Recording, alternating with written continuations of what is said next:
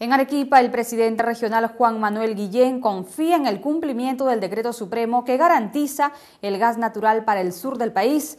En tanto, se espera la respuesta oficial del consorcio Camisea. El gobierno publicó un decreto supremo en el cual se establece la obligación del consorcio Camisea de asegurar con un volumen de reservas no menor a un trillón de pies cúbicos el abastecimiento para el gasoducto andino del sur. Sin embargo, la empresa no ha emitido aún una respuesta formal.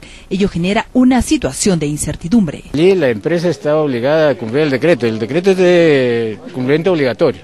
Y debemos dejarnos de engañifas. El país pues no, no es un país de, de engañadores, por favor, ni, de, inocentes ni de tarados. Aquí lo que se trata simplemente es que hay un decreto, ese decreto es de obligatorio cumplimiento y nos corresponde a todos hacer cumplir los alcances de ese decreto. Pero el decreto por sí mismo lo garantiza y lo que eh, faltaría en todo caso es desarrollar, si hubiera necesidad de acciones de carácter legal, para que se obligue al cumplimiento del secreto a las empresas que estén involucradas. No quiere desconfiar, pero el presidente regional de Arequipa anunció una nueva reunión con los presidentes regionales para buscar una solución y así asegurar el abastecimiento del gas. Para destinar al consumo interno tiene que priorizarse el consumo interno.